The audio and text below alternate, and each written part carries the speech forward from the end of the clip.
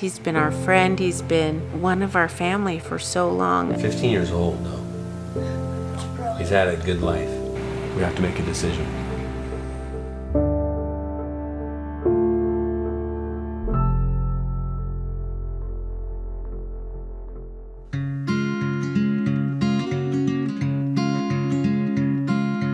Today is the last real day of school, I guess we should say, even though it's not a real day, because it's a half day. Well, they only have four hours of school today, and all they are doing is watching movies or playing games.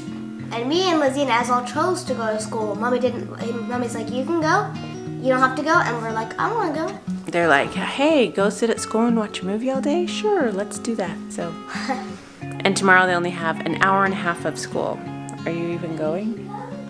I'm not. Lizzie and Azal say they want to. The school has to have so many days, the school district has to have so many days, and so that's why we have these little short half days and the because they're making sure they have all of their numbers and all of their days and so many school lunches and all of that to get all their funding. But there's- Movies at school today. But mommy, the reason why we have half days is because the school is being torn down in the summer, And they're moving all this stuff out, and so we have to move. So the teachers need more time to move everything. Ego, you're a raccoon! Whoa! I'm Rocky the raccoon. I love that tail. Where's your hat? Whoa! You just turned into Rocket the raccoon. Where did Canyon go? Canyon! I'm Nancy, have you seen Canyon? I haven't either. Hey, Rocket, have you seen Canyon? Rocket, do you know where Canyon is? Hello, Canyon. Where did you go? Oh, Canyon.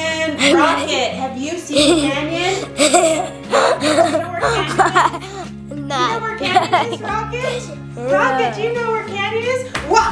Whoa, Canyon! Where did Rocket go? Rocket lost his body and his tail. No. Oh, you have his tail. Do ah! you want to eat breakfast? There's his tail on the back. Oh, so cute. Hey, this looks like uh, Mr. Johnny Town Hey. How are you? Welcome to the greatest graduation party It is this side already, I've only been like four steps in the door and I'm excited. Have you seen anything cool? Hey guys, what's up? Welcome. This is We got face paints, we got photo booth, we got candy, we got everything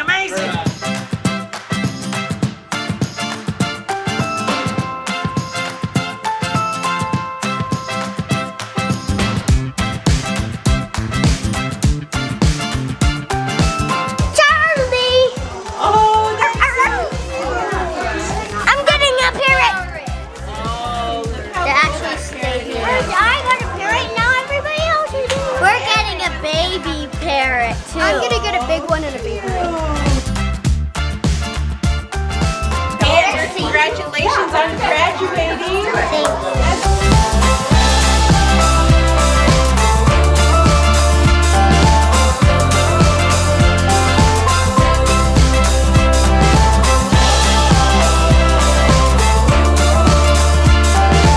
Whoa, Savannah. Run! I'm a unicorn, she's a tiger. Dude, this Pez is kicking my butt. That is pretty cool. I know, right? I did mine. A queen, unicorn, pirate, um, Unicorn, queen, pirate, dinosaur. yep.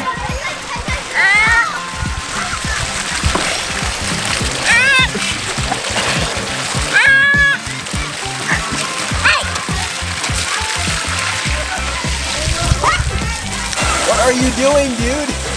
We're at April and Davies, and they turned on the, the fountains. And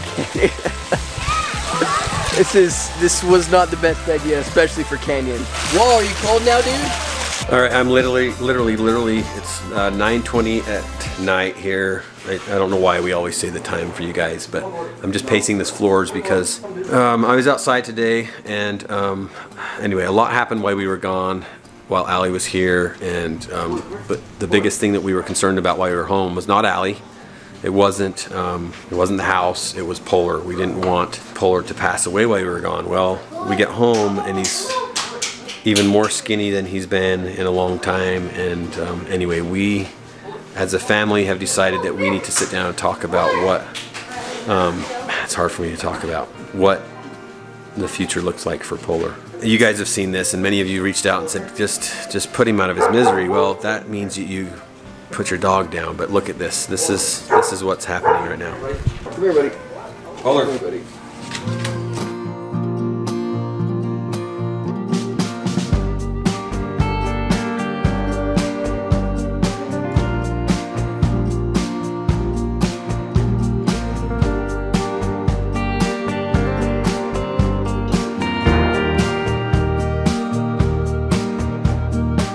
This really is one of the hardest decisions that we ever have to, will ever have to make. Polar has been with us longer than Danielle and Savannah and Lizzie and Az and Canyon. He's been our pet, he's been our friend, he's been just one of our family for so long and we it's it's so hard to make the choice that we have to actually put him to sleep. If he just passed away in his sleep like the way of life, it would be so much easier. But we're just we're just making him suffer by waiting and by selfishly keeping him alive because we don't want to make the decision and we don't want him to be gone.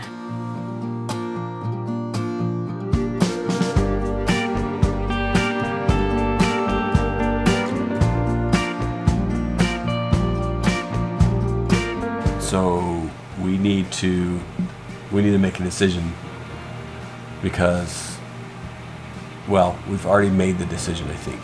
We just need to make 100% sure that we all agree to it so that nobody's feeling extra bad later on. Like your mom already got a hold of the vet and they said they would instead of having us go in there to the vet and just taking him in and having him put down, this vet will do it family style, which is means we get to be with him just like this, and he will pass away peacefully just like this with us. So do you guys want to do it that way, or would you rather just have him go into a room?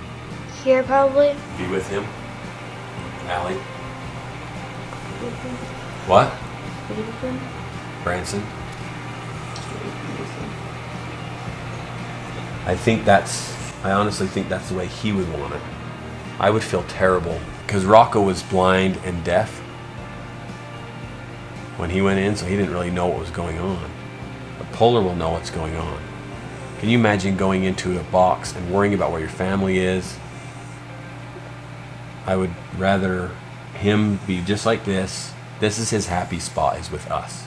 Because a dog's job is to is to protect you and to care for you and love you. And that's his job. That's why he won't pass away on his own. Because he feels that that's his job still. He won't let go because of us. Here's the other question though. Do we want him to suffer still? You guys paid attention to how he walks around the yard and how he goes up and down the stairs. Well, I mean, he was panting heavily and couldn't even get up. We just have. This is the hard. This is the part of the decision we have to make, though. Do we continue to allow him to suffer and just be in our backyard and be part of what we're doing until he passes on his own, or do we relieve him of that suffering that we've seen him doing and do it in our own way, where we're, he's surrounded by us and he just passes away peacefully? We have to make that decision. It won't hurt him. He'll just It won't hurt him. go to sleep. He'll just be like this, just right here. And he'll be surrounded by us and he'll go to sleep. He just won't wake up. We know he's not going to give up. We know he's just going to keep trying. So we let him keep doing that. Or do we help him not put up with that anymore? We have to make a decision.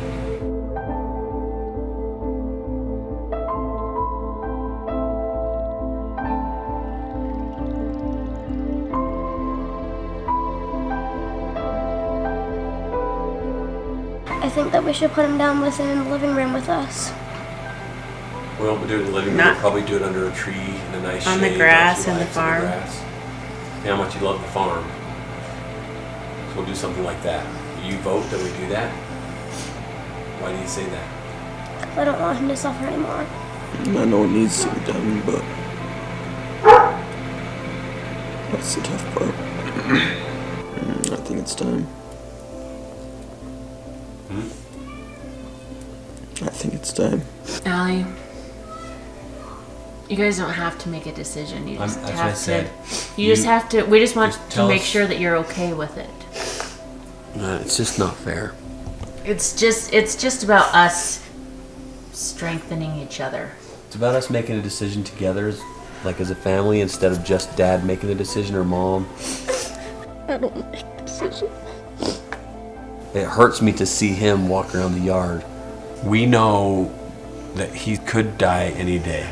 And we and, and the decision I keep going through my mind, which is making it not as hard, is do I want to find him in the kennel and know that he suffered and to the point where he died? Do I want to find him at the bottom of the stairs because he fell down and broke his hip?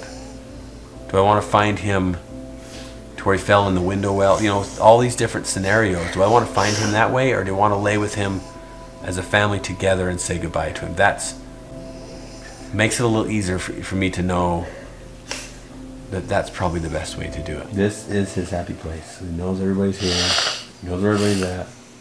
Savannah, Lizzie, I think we've already said it. The rest of you, Branson, I think you've already agreed. I think we need to make it happen. Let's just sleep on it. Let's think about it tonight. Let's let's pray about it. Let's just make sure that we're we all feel right about it. Not feel good, I, that we feel right about it. That we feel that it's the right thing to do. 15 years old though. He's had a good life. And it's okay to be sad. It's it, we, it's absolutely okay to be sad. I think we all feel the same way that we don't want Polar to suffer anymore. We don't want him to be in pain. We know that he's just been hanging on for us and we can't we can't be selfish and make him be in pain anymore.